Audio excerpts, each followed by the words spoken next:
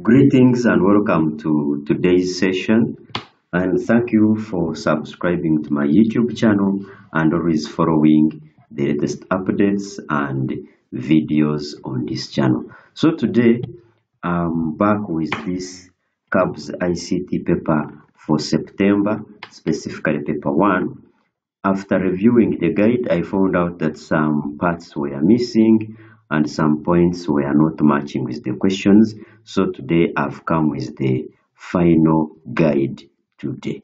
So in this final guide, I've included most of the points on most of the scenarios, especially when it comes to item 2, item 3, item 4, and item 5.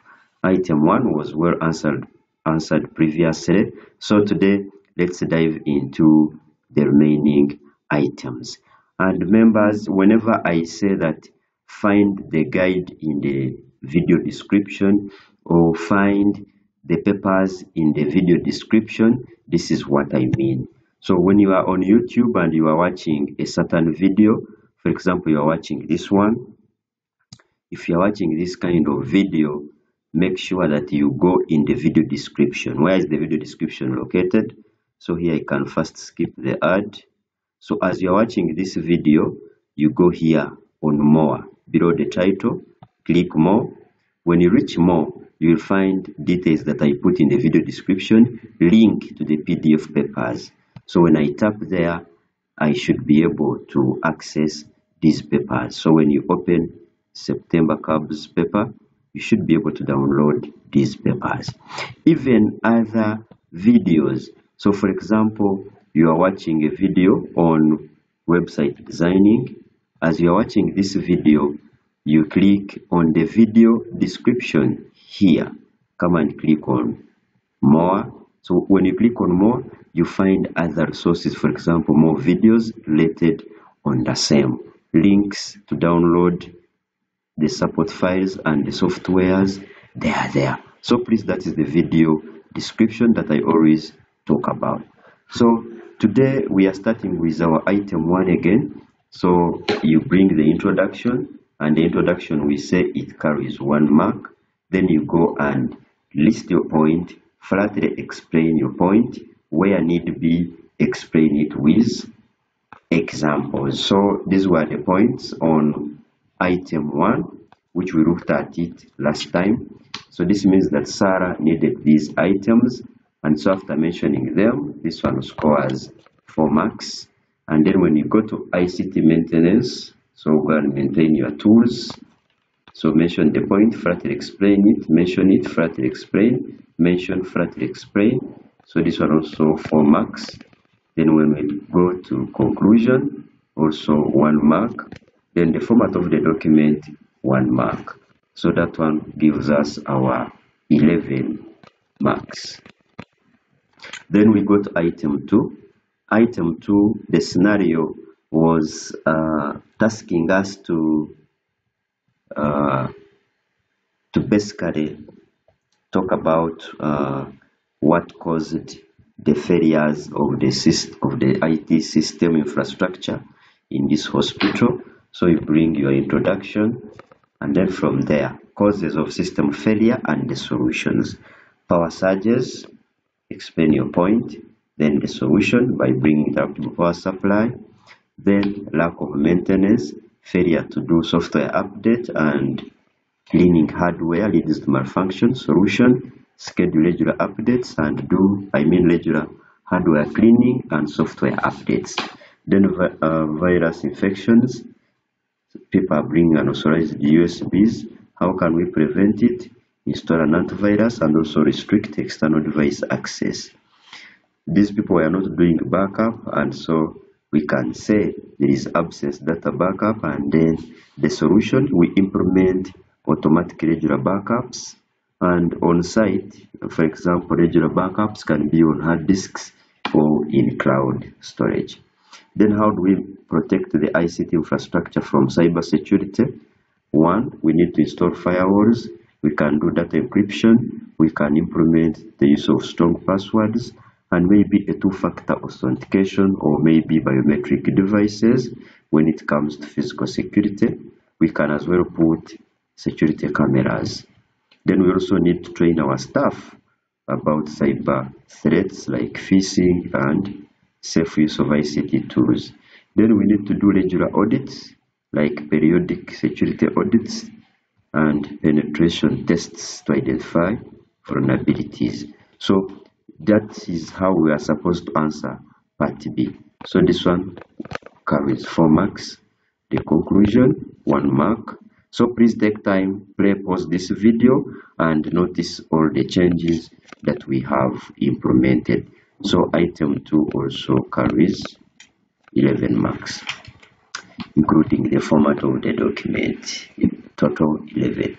Then item 3, we are looking at the dangers of using ICTs and then also how best can these students uh, surf the internet uh, safely. So dangers, we are looking at personal safety because they are using public Wi-Fi and so information uh, is unsecure on public Wi-Fi. We can tell them to avoid entering sensitive information like passwords while they are on public Wi-Fi. There is tracking while on a public Wi-Fi, so we can tell them to be mindful when they are on a public Wi-Fi because people can identify what they are doing online and their location. They are likely to get malware infections because hackers may spread them through these Wi-Fi's. So advise them not to download files and click suspicious links. Then, so this one would give you four marks. Then here we are looking at tips to stay safe online. One can use a VPN to protect data from hackers. You can also avoid sensitive transactions when you are on a public Wi-Fi. Then turn off automatic updates so that you prevent automatic, sorry, turn off automatic connections because public Wi-Fi's are not secure. Then use secure websites which have HTTPS, that is Hypertext Transfer Protocol, secured. You can also update devices and the antivirus so that you, you protect against vulnerabilities. Then also we can engage students with practical demonstrations by showing them how to install VPN and also disable automatic Wi-Fi connections on their phone. So basically also tips to stay safe were missing in the previous guide and also dangers were not clearly highlighted. So here we also give our conclusion and the format of the document and this one will also carry 11 marks. Then let's go to item 4 where we are supposed to guide John to create a simple sales report and then send this report as an attachment on the email to the headquarters. So we begin our introduction. Once the introduction is, is stated, we can now use our knowledge of Excel to create a report. Step one, open Excel. By clicking start, you can launch Microsoft Excel. Click blank workbook. Then in row one, let's put date, put product, put quantity sold, price per unit, and then total sales in E1. This is how our table can look like after entering the data. So this we have entered our data. After entering the data, we can now calculate for, we can use formulas to calculate for totals. Uh, that is the, that is quantity sold times price per unit. So that's how we get the totals by using that formula. We press enter and autofill, that is drag to the next of the uh, rows. Then we can also add the total summary by using that function. Then after we save our report, click File, Save As, go to the desktop, create a new folder named October Reports, then save the file as October Sales Report.xlx, and then from there we can now send it to Gmail. Step one, we can open Gmail by going to www.gmail.com. We log in with our email credentials. On Compose, we can now create a new email. We attach our sales report uh, whereby there is that paper icon representing attach. You browse desktop in the folder, then click your file, you open to attach. From there, draft the email to the headquarters, subject October report. So the body, uh, you are saying, dear manager, kindly receive our report attached. Best regards, John. So send the email after confirming everything is okay.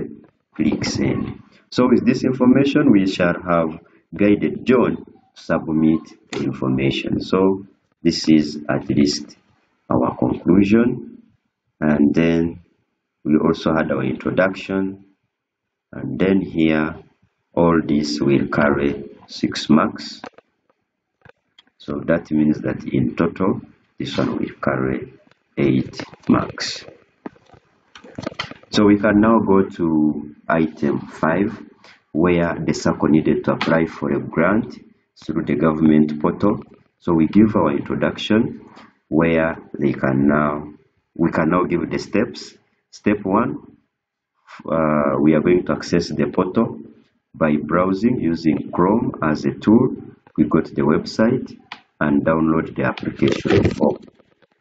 Once the form is downloaded, we can start filling it using a PDF editor like Adobe Acrobat. Then we start filling in our details, e.g. cooperative's name, the number of members, grant amount, e.g. this, and the project description.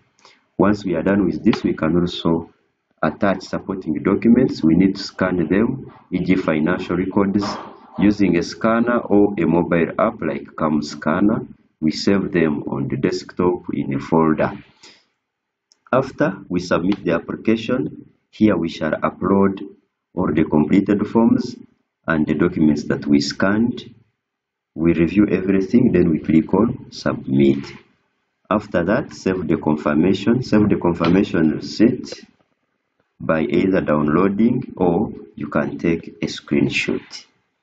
Then how do we secure our information? While we are applying. One, we need to ensure that we use a secure connection, ensure that the URL has HTTPS. Then we can also avoid using public Wi-Fi during submission. We can also encrypt sensitive data by use of passwords in a PDF tools like Adobe Acrobat. Then we, we need to do regular updates and antivirus software installation on our computer we should ensure that we have an updated and latest software and also run an antivirus scan like Kaspersky or Norton before uploading any documents. More to that, we can do backup. We save all the files on an external drive or on a cloud storage like Google Drive for safekeeping. Then from there, we can have our conclusion, which takes one mark then here we expect to earn our 6 max route and then plus that one gives us 8 out of 8. So here at least here I've given a full guide. Please members keep subscribing to my YouTube channel, share with friends to have this final guide. You can as well click in the video description. So from this very video, click in the video description so when playing the video then Are you a low skilled worker looking so when that one you can even skip the ads can skip the ad. Then as you're watching your video click on more. Scroll down you will see link to the pdf papers. When you click there you should be able to find all the papers there. Click KABS paper from there, download this one. The detailed guide has been put and even the supporting papers plus the support files. So members, keep subscribing, share to your friends, and also remember to order for the new books that are available, especially for website designing and any other books for the new curriculum. Thanks and bless.